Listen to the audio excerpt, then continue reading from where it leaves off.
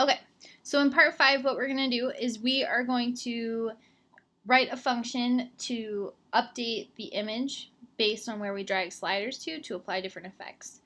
And um, in part six, we'll actually learn how to write this code more efficiently. So we're going to do it the long way in part five, and then in part six, we'll kind of revisit how to do this in a more efficient way. So to get started, the first thing that we're going to do is we're going to make a, a function named change slider handler, and this function will be used or will be called anytime we move the slider. So you should have your script.js file open and you should have your app open in the browser. Inside this document.add event or DOM content loaded function, you want to write our new function underneath the code you wrote to load your image, but before this closing curly, false, and semicolon.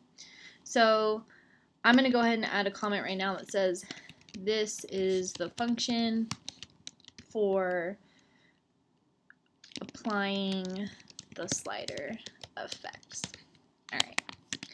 And let's go ahead and write that function. To do that, we're going to go ahead and say function, the name of the function, change slider handler. We're going to pass it the parameter of event, and then we're going to have opening curly, closing curly, and semicolon after the closing curly. All right.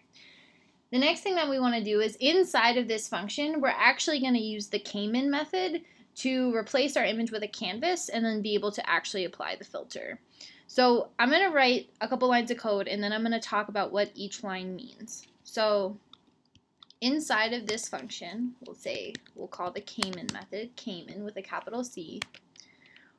We wanted to get our image by its ID, image, pound image, inside of quotes, comma, then we'll call this function. We'll name this function render Caman. No parameters, but we do need parentheses. Curly bracket, hit enter. So you'll see the closing curly bracket, the closing parenthesis. I'm going to add the closing semicolon so I don't forget it.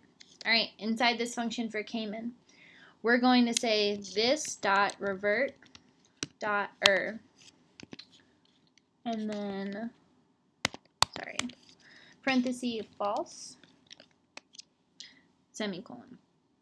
So let's talk about what this is doing so far. This first line, Caman, pound image function render Caman. This is using the Caman method to actually make a canvas of the image that we have in our app. And then we're going to call a function named render Caman. This function will ultimately apply the slider effect. So this dot revert false is going to clear whatever effects are already on our canvas of our image. And then we're going to say this bracket event dot target dot name closing bracket parenthesis oops sorry not curly bracket parenthesis event dot target dot value and then we're going to say dot render parenthesis parenthesis semicolon. Okay this looks like a complicated line of code but I'm going to explain what what each piece means. So this line this event dot target dot name event dot target dot value dot render this is what's actually going to apply the effect based on the value that we move the slider to. Event.target is a way for us to um, get some information that we have created in our web app from the event. So the event would be like when we drag the slider, we want to get the name of that slider and we'll replace event.target.name with that. And event.target.value would get the value of the slider. So if I move the brightness, it would get the name of brightness and then it would get the value of where I drag the slider to, and then it would say dot render, and this would apply the actual effect. So in our index, when we created each of the sliders, we actually gave each slider an ID, but also a name. So event.target.name is getting that name. And then we have an attribute called value. This value changes based on where we drag the slider to. And that would be right there. So if we were doing this for brightness, it would say this dot brightness parenthesis 10 dot render and that is Caman's way of applying the brightness effect.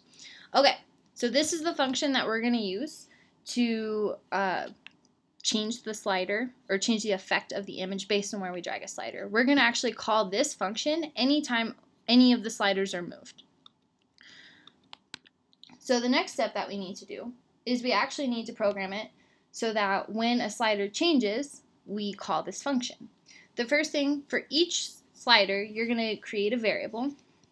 We'll do brightness first, since brightness is my first slider. We'll say var brightness range. So the name of the variable is going to be brightness range equals, and we're going to get the brightness uh, slider by its ID.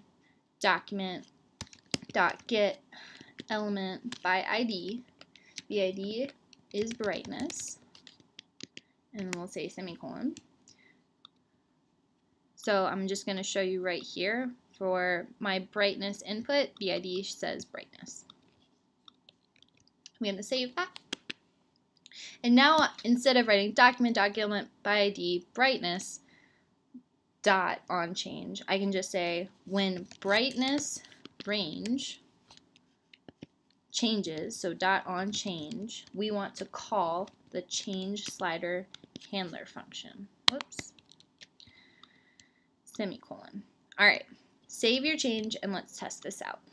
I'm going to go ahead and refresh the page. I'm going to choose a file. I'm going to choose puppy 2. And now I'm going to try and change the brightness. And as we see, wherever I move brightness to, it changes on my puppy's image. But if I move vibrance, that's not changing anything. That's because we haven't programmed vibrance yet. You're going to go ahead and repeat these same two lines of code, but for each different slider. So I'll show you one more example. If I do it for vibrance, I would say var vibrance range equals document dot get element by ID. The ID for this is vibrance semicolon and then I would say vibrance range dot on change. I'm going to call our same function change slide, slider handler. And this shows why functions are so great. So instead of writing all of these different lines of code for each slider, we can just call this whole function and it's running all of these lines of code each time we just call it right here with this one line. Let's go ahead and save that. Refresh. I'm to go ahead. We'll do it on this puppy this time. Let's change brightness. It's working. Vibrance we can see that the image is becoming more or less vibrant based on where I drag a slider. So now you're going to do this for the rest of your sliders and test them out and then comment your code. And that is going to be part 5. Next time when we come back and we look at part 6, we're going to find a more efficient way to write each of these. So I'm going to go ahead and add them and show you that mine work.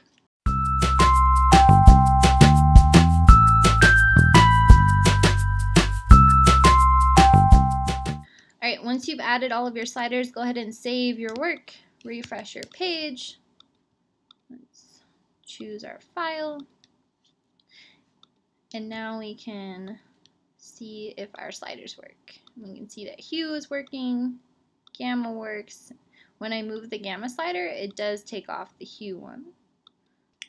And that is part 5. Alright, see you back here for part 6, where we'll learn how to write all these lines of code more efficiently.